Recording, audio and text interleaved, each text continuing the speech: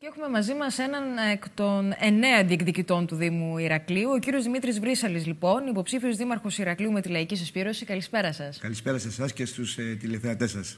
Ευχαριστούμε πολύ που είστε εδώ. Είμαστε λίγες ημέρες πριν τις ε, κάλπες και θέλω να πούμε δύο λόγια. Φυσικά, όλες αυτές τις ημέρε ακούμε και την προεκλογική, αν θέλετε, εκστρατεία που κάνει η Λαϊκή Συσπήρωση σε κάθε Δήμο και στο Δήμο Ηρακλείου. Ποια είναι τα χαρακτηριστικά λοιπόν για το Δήμο Ηρακλείου, τι προτάσετε εσείς; Κοιτάτε να δείτε, εμείς ε, όλο αυτό το διάστημα ουσιαστικά η, η σύμβουλη της Λαϊκής Συσπήρωση και η Λαϊκής Συσπήρωση στάθηκε στον πλευρό των ε, λαϊκών οικογενειών που την περίοδο της κρίσης ε, δέχτηκε πάρα πολλά πλήγματα και από την ε, κυβέρνηση αλλά και από την ε, τοπική διοίκηση. Και εννοώ με τα δημοτικά τέλη, με τα σοβαρά προβλήματα υποδομών που υπάρχουν στο νομό μας, με τα ζητήματα των ελλείψεων στην κοινωνική πολιτική που αυτά έχουν οξυνθεί εξαιτίας και της υποχρηματοδότησης του κεντρικού κράτους προς τους Δήμους. Ε, όλο αυτό το διάστημα ε, ε, προσπαθήσαμε να αναδείξουμε αυτά τα ζητήματα γιατί θεωρούμε ότι Τέτοια κουβέντα δεν έγινε στην προεκλογική περίοδο. Είχαμε πολλές ελουστρασιών σελίδες, πολλά οράματα και πολλές ιδέες για το Ηράκλειο, πώς θα γίνει έξυπνο, πώς θα γίνει ε, κέντρο του πολιτισμού και μητροπολιτικός Δήμος. Αλλά για τους κατοίκους αυτής της πόλης, για τις ανάγκες και τα δικαιώματά τους, ε, οι μόνοι που ουσιαστικά βάλαμε ε, στο επίκεντρο αυτό ήμασταν οι υποψήφοι της λαϊκής συσπήρωση και στην περιφέρεια και στο Δήμο. Παρακολουθούσατε όλα αυτά τα, τα χρόνια και μέσα από τα δημοτικά συμβούλια την πορεία πορεία, την αυτοδιοικητική πορεία και την πορεία των δημοτικών αρχών. Είπατε για τα δημοτικά τέλη. Θα μπορούσαμε να έχουμε κάνει κάτι διαφορετικό, κύριε Βρύσαλη, γιατί θα σας πει κάποιος μια πολιτική που ενδεχομένως να μειώσει τα δημοτικά τέλη δεν θα επιφέρει προβλήματα στη λειτουργία των, του Δήμου; Μια δημοτική αρχή που έχει σαν ε, ιερό και όσιο το θεσμικό πλαίσιο που λέει ότι οι Δήμοι θα πρέπει να λειτουργούν με ιδία έσοδα, προφανώς ήταν, ήταν μονόδρομος η πολιτική των αυξήσεων των δημοτικών τελών και βεβαίως των ανταποδοτικών τελών είτε των ε, τελών που πληρώνουν οι γονείς στους παιδικούς σταθμούς. Η δική μας αντίληψη είναι διαφορετική. Εμείς λέμε ότι πρέπει οι δημοτικές αρχές αν ήμασταν εμείς, αν ήμασταν εμείς δημοτική αρχή, ε, θα διεκδικούσαμε όλους αυτούς τους πόρους που όλα αυτά τα χρόνια έχουν παρακρατηθεί από τον κεντρικό κράτος και ταυτόχρονα μαζί με τους εργαζόμενους στις λαϊκές οικογένειες θα διεκδικούσαμε τα αυτονόητα που πρέπει να έχει ένας πολίτης ε, στον 21ο αιώνα. Για παράδειγμα, είναι απαράδεκτο σήμερα το να προπολογίζει ο Δήμος ότι θα εισπράξει το 2019 ε, πάνω από 40% σε σχέση με τον προπολογισμό πέρυσι από δημοτικά τέλη. Να έχει ένα τεράστιο πλεόνασμα που βεβαίως αυτό το πλεόνασμα είναι υποχρεωμένο και έχει ψηφιστεί από το μεσοπρόθεσμο πρόγραμμα που ψήφισε η κυβέρνηση μέχρι το 2022 όλοι οι Δήμοι της Ελλάδας να έχουν 650 εκατομμύρια πλεονάσματα.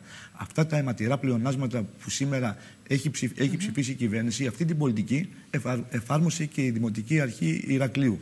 Με αυτή την έννοια, εμείς λέμε ότι ναι, θα μπορούσαν να μειωθούν τα δημοτικά τέλη, να μειωθούν ε, τα τέλη που πληρώνει ο κόσμος στους παιδικούς σταθμούς. Θα μπορούσε αυτό το πλεόνασμα να δοθεί για να φτιαχτούν και άλλοι παιδικοί σταθμοί, να γίνουν ορισμένα έργα υποδομής, και να διεκδικούσε ο Δήμος προσωπικό μόνιμο, να μην απολυόντουσαν οι συμβασιούχοι κάθε δύο και τρεις μήνες που τώρα είναι σε κινητοποίηση οι συμβασιούχοι των γενοφιλών προγραμμάτων στο Δήμο, γιατί τελειώνει η σύμβασή τους και μιλάμε για 500 άτομα ε, που έχουν, είναι, ζουν στην αβεβαιότητα. Άρα εμείς λέμε ότι οι δημοτικές αρχές ή θα πρέπει να έχουν, όπως λέμε εμείς, μια αντίληψη διεκδικητική απέναντι στο κεντρικό κράτος ή θα έχουν μια πολιτική αυτή που ζήσαμε τα τελευταία χρόνια. Ότι τι να κάνουμε, αυτό είναι το θεσμικό πλαίσιο και με βάση αυτό πορευόμαστε. Mm -hmm. Είναι Είπα... διαμέτρου αντίθετες αντιλήψεις. Είπατε για το απόθεμα που έχει ο Δήμος Ηρακλείου. Με δεδομένα λοιπόν τα χρήματα τα οποία έχουν μπει στο Ταμείο του, του Δήμου Ηρακλείου, θα μπορούσε να έχει ασκηθεί μια διαφορετική, περισσότερο κοινωνική πολιτική; Δεν θα σας πω mm. καθαρά κοινωνική ναι. πολιτική, γιατί και, και η οικονομική προ, πολιτική. Προ, Προφανώς θα μπορούσε να είχε, να είχε γίνει αυτό, αλλά σας λέω ότι όσοι έχουν ε, ψηφίσει ε, μνημόνια τα κόμματα κόμματα που στηρίζουν τους υποψήφιους ε, δημάρχους, γιατί δεν είναι από παρθενογέννηση. Mm. Μπορεί να γίνεται μια προσπάθεια να αποδειχτούν, να πούνε ότι είναι ανεξάρτητοι, αυτοδιοικητικοί, ικανοί, αλλά τους στηρίζουν κάποια κόμματα που τα κόμματα αυτά έχουν ψηφίσει ότι οτιδήποτε μαζεύει από τον κόσμο η κάθε δημοτική αρχή θα πρέπει να πηγαίνει στο, στο απόθεμα αυτό του κεντρικού κράτους. Εμείς και το έχουν κάνει οι κομμουνιστές δήμαρχοι που υπάρχουν στην Ελλάδα, ακριβώς έχοντας την αντίληψη ότι σήμερα χρειάζονται αρχές δίπλα στον κόσμο της δουλειάς, στον αγρότη, στον επαγγελματικό ε, μειώσανε τους, ε, τα τροφία, μειώσανε ε, τα δημοτικά τέλη σε ευρεία ομάδα ανθρώπων και ταυτόχρονα βεβαίως με τους εργαζόμενους του Δήμου, κάνανε και έργα που όλα αυτά τα χρόνια στην Πάτρα, παραδείγματος χάρη, λιμνάζανε λόγω του ότι είχαν δοθεί σε εργολάβους και βεβαίως με τα αντίστοιχα οικονομικά ε, ε, το, ωφέλη που είχε ο Δήμος. Άρα υπάρχει τέτοια πολιτική, αλλά χρειάζεται βέβαια να πορευτείς με άλλο τρόπο ε, διεκδίκησης και σύγκρουσης με το θεσμικό πλαίσιο. Αν δεν έχεις μια τέτοια αντίληψη σύγκρουση με το θεσμικό πλαίσιο, δεν μπορεί να ξεφύγεις από αυτό που λέει πλέον η Ευρωπαϊκή Ένωση και αποφασίζει η κυβέρνηση και εξειδικεύει η τοπική διοίκηση ε, να κάνεις. Άρα είναι θέμα πρόθεσης, θέμα πρωτοβουλίας και το πώς ασκεί πολιτική ένας ε, Δήμο. Πρωτοβουλία και βεβαίως ε, πρωτοβουλία των, δη, ε, των Δημοτικών Συμβουλίων από τη μία και από την άλλη ε, να, να έχεις καθαρό, και εμείς το έχουμε καθαρό, ποιος είναι ο αντίπαλος. Γιατί αυτή τη στιγμή υπάρχει αντίπαλος. Mm -hmm. Είναι η κυβέρνηση, είναι η Ευρωπαϊκή Ένωση που σε κάθε έργο που ε, προσπαθείς να διεκδικήσεις για τα έργα υποδομών αντιπλημμυρικής αντιπλημμυρικής προστασίας, αντίστοιχη χρηματοδότηση ακόμα και από ευρωπαϊκά προγράμματα δεν υπάρχει. Γιατί δεν είναι επιλέξιμα έργα. Τα επιλέξιμα έργα είναι αυτά που φέρουν κέρδος στο, στο Δήμο επιχείρηση όπως θέλουν να μετατρέψουν τα όποια στίγματα ε, υπήρχαν τοπικής αυτοδιοίκησης. Εμείς μιλάμε πλέον και για τοπική διοίκηση. Και δεν το μιλάμε επειδή το λέει το ΚΚΕ και η Σύμβουλη της Λαϊκής Υπήρωση. Το ίδιο το νομοθετικό πλαίσιο μιλάει για τοπική διοίκηση που θα είναι προσαρμοσμένη στην, στην προσπάθεια που κάνουν οι μεγάλοι επιχειρηματικοί όμιλοι να βγουν από την κρίση. Γι' αυτό βλέπετε σήμερα ότι όποιο χρηματοδοτικό πρόγραμμα υπάρχει από το ΕΣΠΑ είναι στην κατεύθυνση ενίσχυσης των μεγάλων επιχειρήσεων. Παραδείγματος χάρη, το πολιτιστικό κέντρο που έγινε στο Ηράκλειο. Ναι. Αυτή τη στιγμή δεν έγινε με κρατική χρηματοδότηση ώστε να μπορεί ο εργαζόμενος να πηγαίνει με πολύ χαμηλό αντίτιμο να κάνει μια παράσταση, ένα σύλλογος να κάνει μια εκδήλωση, αλλά θα έχει ανταποδοτικό τέλος. Να σας πω ένα παράδειγμα. Ζήτησε το σωματείο που, ε, που είμαι να κάνει μια εκδήλωση η βράβευση των παιδιών των εργαζομένων. Ε, ζήτησε η Δημοτική Αρχή η αντίστοιχη υπηρεσία. Το εργαζομένων του Παγνίου. Μάλιστα. Mm -hmm. 200 περίπου ευρώ για να δοθεί η αίθουσα για δύο ώρες. Καταλαβαίνει κανένας ότι τέτοιου είδους αντίληψη περί πολιτισμού ή λαϊκών αναγκών είναι πολύ μακριά και από τη δημοτική αρχή αυτή, αλλά και από αυτές που θέλουν να αναλάβουν πλήν λαϊκή συσπήρωσης. Mm -hmm. Γιατί ακριβώς αποδέχονται αυτό το πλαίσιο. Ή, παραδείγματος χάρη, τα έργα που πρέπει να γίνουν της αντιπυρικής προστασίας. Αυτό που δίνει το κεντρικό κράτος είναι 250.000 ευρώ στο, στο, για τον νομό Ηρακλείου. Όταν σήμερα υπάρχει μεγάλος κίνδυνος λόγω και της αλλαγής της κλιματικής να, να, να, να γίνουν πάρα πολλές φωτιές και να μην έχει λύσει βασικά προβλήματα ε, του χώρου, των χώρων των αγροτικών δρόμων. Mm -hmm. Έργα υποδομών σε σχέση με τα χωριά. Και η αγροτική Κάναμε... οδοπία.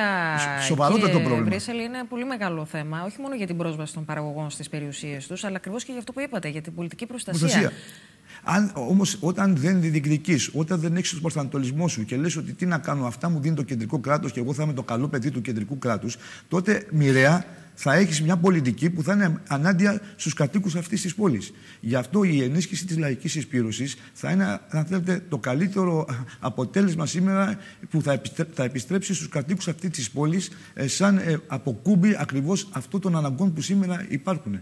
Παραδείγματος χάρη, ε, ε, τώρα αυτό το διάστημα στους παιδικούς σταθμούς γίνονται οι αιτήσει για να απελθούν τα παιδιά των παιδικών σταθμών. Χιλιάδες παιδιά, Χιλιάδες. Ε, πάρα πολλά θα μείνουν απ' έξω. Χιλιάδες παιδιά θα μείνουν απ' έξω. Γιατί όμως στον 21ο αιώνα δεν θα μπορούσαν να γίνουν και άλλοι παιδικοί σταθμοί, να μπορούν να μπουν όλα τα παιδιά των ε, κατοίκων αυτής της πόλης να μπουν στους παιδικούς σταθμούς ή το καλοκαίρι που έρχεται. Αυτό γιατί δεν έγινε τα τελευταία Κοιτάτε, χρόνια στο Δημοϊράκλειο. Γιατί ακριβώς και η διεκδίκηση από τη, από τη μια πλευρά της Δημοτικής Αρχής, αλλά και η λογική ότι για να φτιάξω εγώ κάποιο έργο, κάποιο έργο υποδομής θα πρέπει να πληρώσει ο Δημότης, οδηγεί σε συρρήκνωση αυτών των υπηρεσιών και στην είσοδο βεβαίως είτε ε, ε, μη κυβερνητικών οργανώσεων ή εθελοντικών οργανώσεων, είτε της αντίληψης σε ε, υποδομές που θα μπορούσαν να στηριχθούν από το κεντρικό κράτος της κοινωνικής επιχειρηματικότητας. Δηλαδή των εργολάβων πλέον που θα αναλάβουν κομμάτια της κοινωνικής πολιτικής για να μπορούν να, να παρουσιάσουν ένα έργο.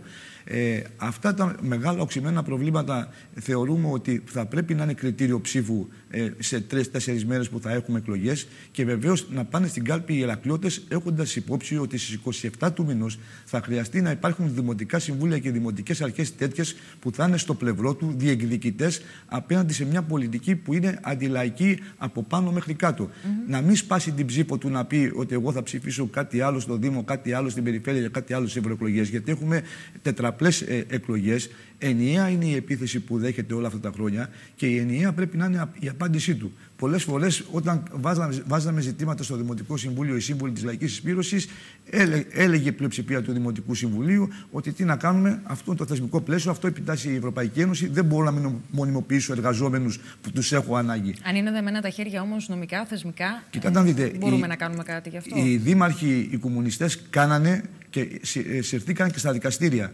Όταν σήμερα έλεγαν ότι θα πρέπει να δοθεί ένα έργο στους εργολάβους και το έκανε ο Δήμος, ο Πελετήδης πήγε στα δικαστήρια. Όταν δεν έδωσε δυνατότητα στη Χρυσή Αυγή για να κάνει εκδηλώσεις στην Πάτρα, πήγε στα δικαστήρια. Ε, είναι θέμα και αντίληψης και σύγκρουσης με το, όλο αυτό το θεσμικό πλαίσιο. Δεν μπορεί να, από τη μια να λες ότι εγώ θα κάνω καλό στην πόλη μου, στους κατοίκους της πόλης μου και από την άλλη να είσαι το καλό παιδί των κυβερνήσεων και, και, και αυτού του θεσμικού αντιλαϊκού πλαισίου. Ο Κλειστένης και οι συνεργασίες που επιβάλλει θεωρείτε ότι θα βοηθήσει την επόμενη μέρα στις δημοτικές αρχές, στις αυτοδιοικητικές αρχές; Ε, Κοιτάτε να δείτε, έτσι κι αλλιώς η συνεργασία με την έννοια των αποφάσεων που παίρνουν στο Δημοτικό Συμβούλιο και τώρα, πάρα πολλές αποφάσεις ήταν σχεδόν ομόφωνες ή με μεγάλη πλειοψηφία. και από άλλε παρατάξεις. Δεν είναι ε, πρόβλημα η απλή αναλογική, γιατί πολλή κουβέντα γίνεται για την ε, κυβερνησιμότητα του Δήμου. Mm-hmm. Αυτό που επιδιώκεται και εμείς το ψηφίσαμε σαν ΚΚΕ στη Βουλή, την απλή αναλογική, επιδιώκεται αυτή η συνένεση που υπάρχει σε κεντρικό επίπεδο και με τις μεταγραφές που γίνονται σε κεντρικό επίπεδο, τις είδαμε και σε τοπικό επίπεδο μεταγραφές. Δηλαδή, οι αντιδήμαρχοι από τη μία να πηγαίνουν μετά να γίνονται υποψήφοι δημοτικοί σύμβουλοι σε άλλη παράταξη ή το αντίστροφο. Αυτή η συνένεση που υπάρχει σε κεντρικό επίπεδο επιδιώκεται και με το εκλογικό σύστημα να πάει όσο δυνατόν πιο, πιο κάτω. Άρα, εμείς λέμε ότι οποιοδήποτε αν πρόταση που έχει να κάνει με ανάγκες, δικαιώματα, ανακούφιση των εργατικών λαϊκών οικογενειών, προφανώς θα την ψηφίσουμε. Προφανώς θα στηρίξουμε αιτήματα των εργαζομένων που ε, ερχόντουσαν και θα έρχονται στο, στο Δημοτικό Συμβούλιο. Για παραδείγματος χάρη, να μην ε, δοθούν τα αποθεματικά των Δήμων mm-hmm. στην Τράπεζα της Ελλάδος, να μην απολυθεί κανένας εργαζόμενος, να μην πληρώνουν οι γονείς στους παιδικούς σταθμούς ή να χαμηλώσουν τα τροφεία ή στους στου αθλητικούς συλλόγους να μην πληρώνουν όπως το κολλήμητήριο. Τέτοια ζητήματα θα τα, προ, θα τα προβάλλουμε και θα τα προτάξουμε εμείς. Πρέπει να μας πούνε οι άλλοι συνδυασμοί τι θα κάνουν στην κατεύθυνση ανακούφισης όλων αυτών των λαϊκών προβλημάτων.